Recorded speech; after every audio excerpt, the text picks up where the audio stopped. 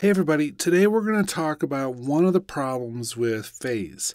Phase is something that we don't worry about as much as we used to. And part of that is because when we were doing productions and they were going to possibly end up on TV, certain TVs, or they were going to end up on AM radio, you had to worry about mono compatibility because a lot of time the music would actually be summed down into a mono feed.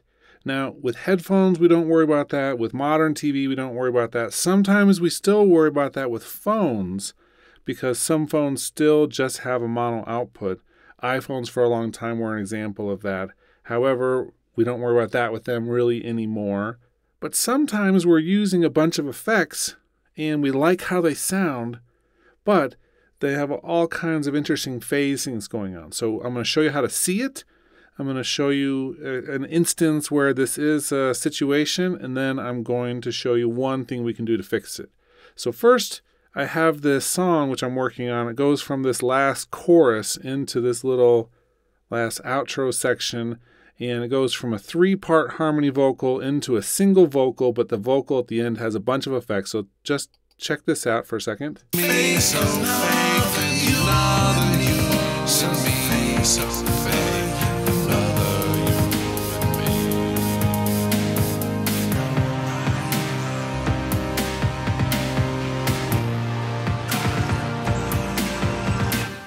So that last one, kind of to make it build even from the three parts into the end, has a bunch of effects on it. And we have a pitch correction, we have a channel EQ, we have a compressor, and then we have two effects which often cause phase issues.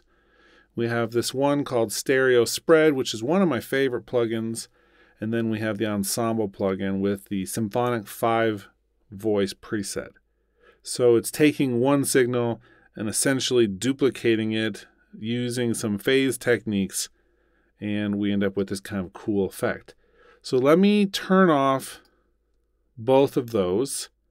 And I'm going to turn on the multimeter here so you can see this. This is showing us phase relationship anything that's straight up and down is mono, and if it starts going out on the sides, that means there's information that's in the left and right channel. So without both of those effects, it's just a vocal, so it should just be right in the middle. We'll go back just a little bit here. Let's put a loop on this so it starts in the same place. Now check it I'm gonna turn on the spread. Now what the spread does is it takes a mono signal and it spreads it out in the right and left stereo image. So anything that's down here at 20 hertz or just above that is in the right channel. Anything around 50, then it's going to the left channel.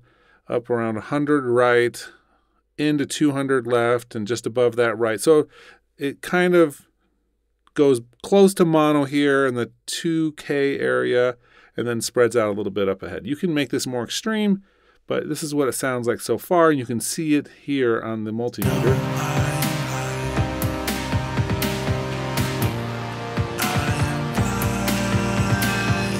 And it's more interesting if you're listening to this on headphones, you're going to be able to hear that the voice actually spreads out some. But the correlation meter here is a reference to or shows the phase relationship as well in another way. If it stays on the right side, the phase is staying in a positive relationship.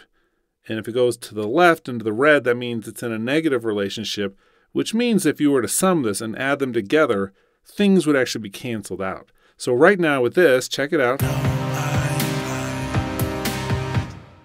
I actually turn this multimeter on when I'm doing the stereo spread just to make sure we're not running into issues. But check this out when I turn on the ensemble.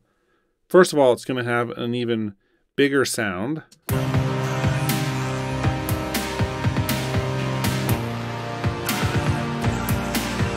But it's hanging out down on the left side here.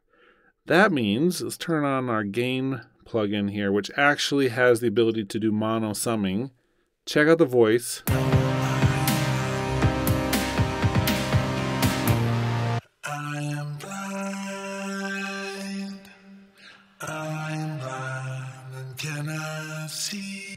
So when I mono sum it, it's actually canceling parts out. even though I like how this sounds, this could be an issue in some rare cases. It also could sound a little funny if you're listening to it on speakers and you're just in a specific place. But the nice thing with the gain plugin then is that I can actually invert the phase on either the left or right channel. So I'm going to invert it on the right. No, I'm blind. So now we're on the plus side of this. But for the most part, it sounds exactly the same. This isn't affecting the sound, especially in a stereo image with headphones, say. No, I'm. And now if I mono sum it, no, I'm. It actually doesn't cancel things out. So the solution here is just to phase invert one of the sides, and then we're going to be as compatible as possible with as many different destination formats as possible. And we don't lose any of the sound. It has that style that we wanted to with it. It's just a great solution and it works not in every case, but in a lot of cases, just that simple trick will make sure that you're as compatible as possible.